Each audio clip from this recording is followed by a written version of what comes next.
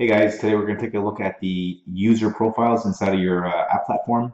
Um, in your back office, underneath your dashboard, it's the first uh, first tab there, customers, manage customers right here.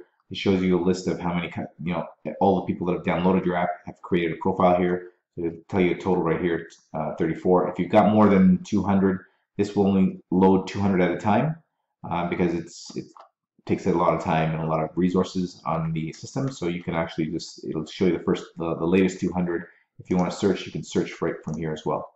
Okay, so you can find people that are past 200. But let's take a look inside their profile and take a look at what all the things are that we have.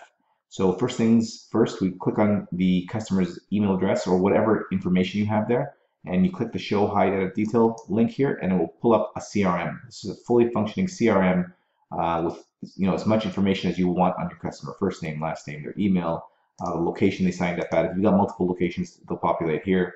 Uh, any kind of tags you want to, uh, tag them with, so the tags segment the database in order for you to send push notifications, uh, their address, phone number, gender. Um, you know, I'm going to fill this out. So this guy's name looks like it's Jeff. Jeff Pinto. Okay.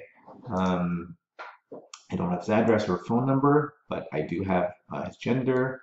Uh, birthday I don't have. Uh, I can select a country, and these guys are in British Columbia, so I can select a province. So this information can be submitted, and now it will it will be updated in the system. So when I click here, you can see Jeff Pinto, uh, and I click again on his name, and we're back into the profile. So we, again, clicking on this shows the CRM where you can update all the personal information.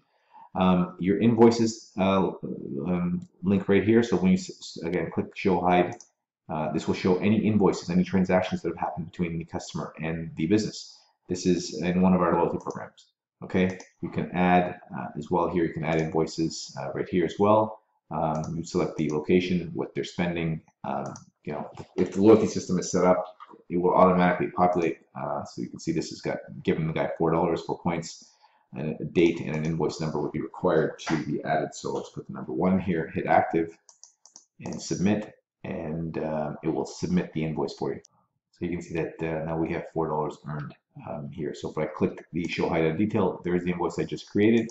I close that, I click on the, um, the total earned, uh, and it will show me here invoice number one, total dollars earned, the date. Okay, so this is the back office, uh, the user profile. Uh, it also gives you some further information. All of these uh, these blue links, they're all clickable, so you can see you know where you've earned things, what you've earned, that kind of stuff. It's all clickable. um, there's also a loyalty coupons report. So if you've got a punch card, you can see the punch card here as well. Okay, um, and you can see any kind of transactions that have happened here as well. So this is the back office for the customer um, profile area, um, and again, you can search by email or name or tag. You can filter by gender, age group. If you've got different locations, you can do that as well.